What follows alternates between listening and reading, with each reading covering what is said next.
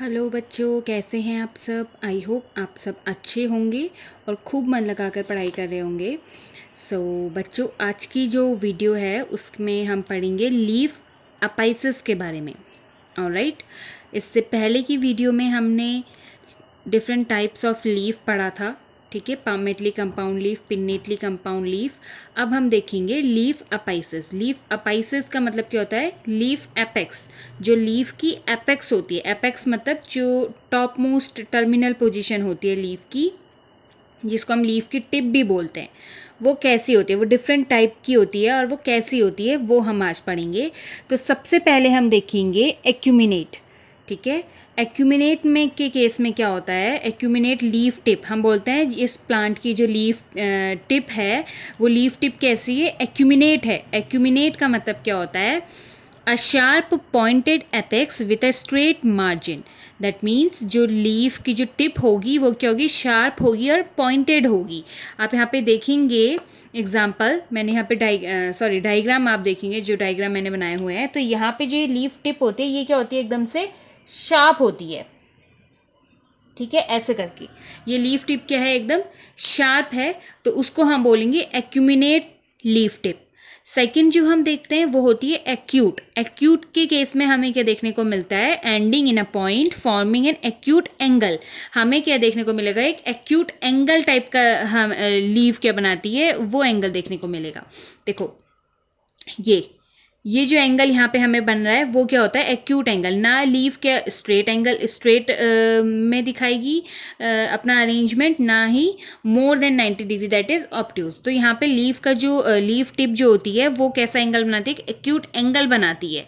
ठीक है? यहाँ पे हम ये नहीं देखेंगे कि वो लीव टिप शार्प है पॉइंटेड है, कैसी है. तो यहाँ पे लीव टिप कैसी है? लीव का जो पॉइंट है एंडिंग पॉइंट है, वो क्या बना रहा है? एक एक्यूट एंगल बना रहा है.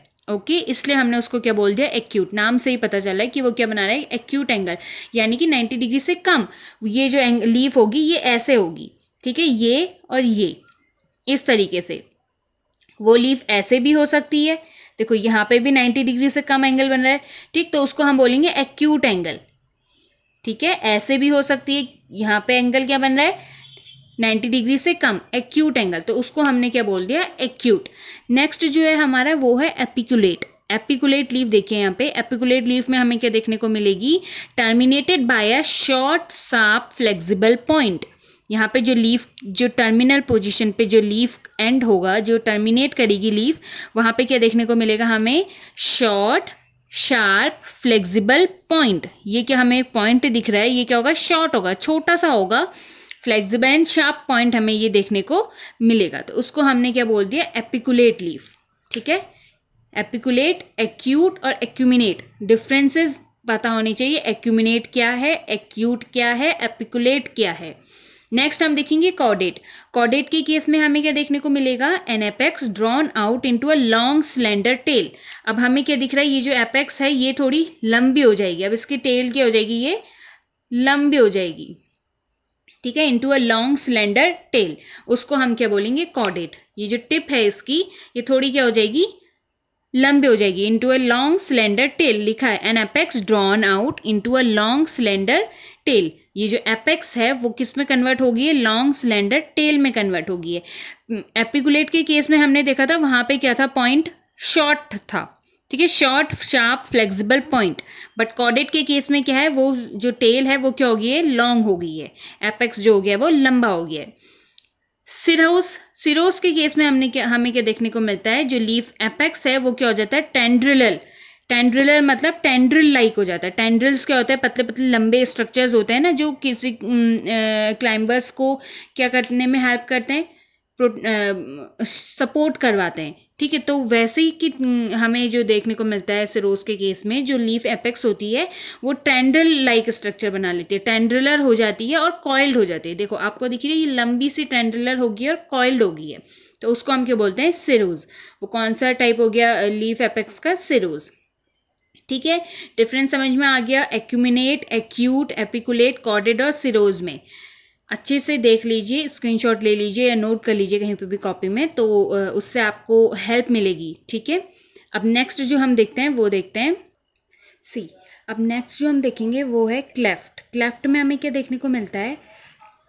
क्लेफ्ट में हमें देखने को मिलेगा कि जो एपेक्स है, वो क्या होगा? डिवाइडेड होगा इनटू राउंडेड और straight marginal straight margin lobes में। ठीक है? जैसे हम फिशेस में, के में देखते हैं फ़िश का जो फिन होता है, ठीक है? वो क्या होगा? डिवाइडेड हो जाता है। ठीक है? यहाँ पे डायग्राम देखो आप, ये जो ये हमारा मिडरेप हो गया लीफ का दिस इज़ द मिडरेप ये मार्जिन हो गए लीफ के तो यहाँ पे से क्या हो रहा है? ये डिवाइड हो जा रहा है। ठीक है? जो लीफ का जो एपेक्स है, ठीक, ये लीफ की जो पॉइंट है एपेक्स मतलब पॉइंट हमें लीफ में में एक ही एपेक्स देखने को मिलता है। जैसे यहाँ पे हमें टिप दिख रही है, एक टिप ठीक है? एपेक्स का मतलब टिप मान लीजिए आप। तो वो वहाँ पे हमें क्लेफ्ट के केस में क्या देखने को मिलेगा? जो एपेक्स है, वो डिवाइड हो जा रही है। ठीक है? या तो वो राउंडेड शेप में डिवाइड हो जाएगी या फिर वो स्ट्रेट मार्जिनल लोब्स में क्या हो जाएगी? डिवाइड हो जाएगी। ठीक है? वो हमें, उसको हम बोलते हैं क्लेफ्ट यहाँ पे भी हमें लीव का एपेक्स ऐसे दिखाई देगा तो उसको हम बोलेंगे क्लेफ्ट और राइट नेक्स्ट जो हम देखते हैं वो होता है कस्पीडेट कस्पीडेट के केस में हमें क्या देखने को मिलता है? जो लीफ एंडिंग होती है, वो क्या होती है? लॉन्ग रिजिड होती है और स्पाइनी पॉइंट बनाती है ठीक है? यहाँ पे हमें स्पाइन लाइक पॉइंट दिखेगा आगे से. तो उसको हम क्या बोलते हैं? कस्पीडेट नेक्स्ट जो हम देखते हैं वो है ई मार्जिनेट ई मार्जिनेट के केस में क्या होगा? देखो an apex provided with a deep notch यहाँ पे हमें लीफ में क्या दिखेगा? एक डीप नॉच दिखेगा. ये दिख रहा है आपको? ये. ये क्या है? नॉच है। तो उसको हम क्या बोलते हैं? ई मार्जिनेट हमें लीफ की एपेक्स में क्या दिखेगा? एक डीप नॉच दिखेगा। उसको हम बोलते हैं ई मार्जिनेट एपेक्स। नेक्स्ट जो हम देखेंगे वो है ऑप्ट्यूज। ऑप्ट्यूज के केस में हमें क्या देखने को मिलेगा? जो लीफ एपेक्स है वो क्या हो जाएगा? ब्लंट हो जाएगा।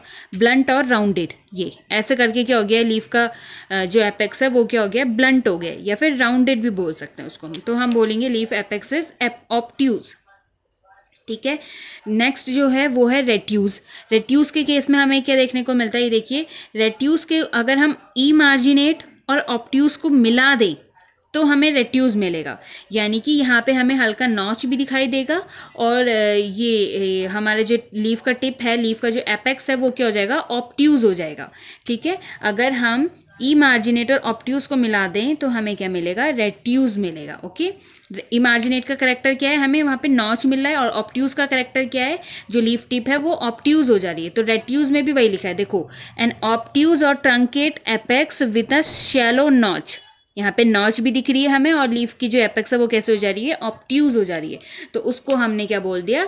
रेट्यूज बोल दिया ऑल राइट जो नेक्स्ट है हमारा वो है राउंडेड राउंडेड में हमें देखने को मिलता है कि जो लीफ का जो मार्जिन है, margin and apex forming a smooth arc. जो मार्जिन है, वो क्या बना रहा है? एक स्मूथ आर्क बना रहा है। आर्क क्या होता है? जब हम सर्कल में ऐसे करके आर्क कट करते हैं तो वो आर्क ही तो होता है।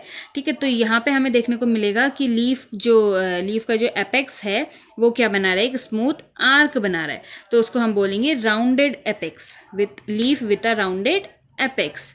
जो लास्ट है हमारा, वो है ट्रंकेट ट्रंकेट में हमें क्या देखने को मिलेगा कि अगर ये हमारी लीफ है, जैसे हमारी ये लीफ होती है, इसको अगर हम यहाँ से कट कर दें तो हमारी लीफ कैसे बचेगी? सिर्फ़ इतनी लीफ बचेगी ना, ऐसे यही तो बचेगा हमारे पास। तो ट्रंकेट में हमें ये दिखता है कि appearing as if cut off at the end at the end में से हमने लीफ को क्या कर दिया है? कट कर दिया है। तो जो कट करने के बाद हमें पोर्शन दिखता है, उसको हम क्या बोलते हैं? ट्रंकेट अगर वैसा हमें कुछ लीफ के अपेक्स में दिख रहा है तो उसको हम बोलेंगे ट्रंकेट समझ में आ गया? क्लेफ्ट क्या है? जहाँ पे एपेक्स क्या हो रहा है, दो पार्ट में डिवाइड हो जा रहा है। कस्पीडेट क्या है? जहाँ पे लीफ एंड क्या हो रहा है? लॉन्ग हो रहा है और रिजिड स्पाइनी पॉइंट बना रहा है, एक स्पाइनी पॉइंट बनाएगा एट टिप पे। ठीक है? ई मार्जिनेट क्या है? जहाँ पे एक शेलो नॉच बन रहा है। ऑप्ट्यूस क्या है? जहाँ पे जो टिप है, वो क्या हो जा रही है? ब्लंट हो जा रही है या फिर राउंडेड हो जा रही है। ठीक है? रेट्यूज क्या है? रेट्यूज में क्या है? जब हम ई मार्जिनेट और ऑप्ट्यूज को मिला दे रहे हैं, यानी कि वहाँ पे हमें नॉच भी दिखाई दे रहा है, और जो टिप का एंड है, जो लीफ का एंड है, जो टिप है, वो क्या है? ब्लंट हो रही है। तो उसको हम बोलेंगे रेट्यूज नेक्स्ट जो है राउंडेड राउंडेड नाम से पता चल रहा है कि जो लीफ का जो एपेक्स है, वो क्या हो जा रहा है? राउंड हो जा रहा है, या स्मूथ आर्क बना रहा है। ठीक है? ट्रंकेट ट्रंकेट हमें ऐसे देखने को लगेगा कि लीफ को हमने क्या कर दिया है? लीफ की जो टिप है उसको हमने क्या कर दिया कट कर दिया है। तो कट करने के बाद जो पोर्शन बचता है, उसको हम बोलते हैं ट्रंकेट ठीक है? समझ में आया? आई होप आपको ये वीडियो अच्छी लगी होगी। अगर वीडियो अच्छी लगी तो प्लीज़ वीडियो को लाइक कीजिए और मेरे चैनल को सब्सक्राइब कीजिए।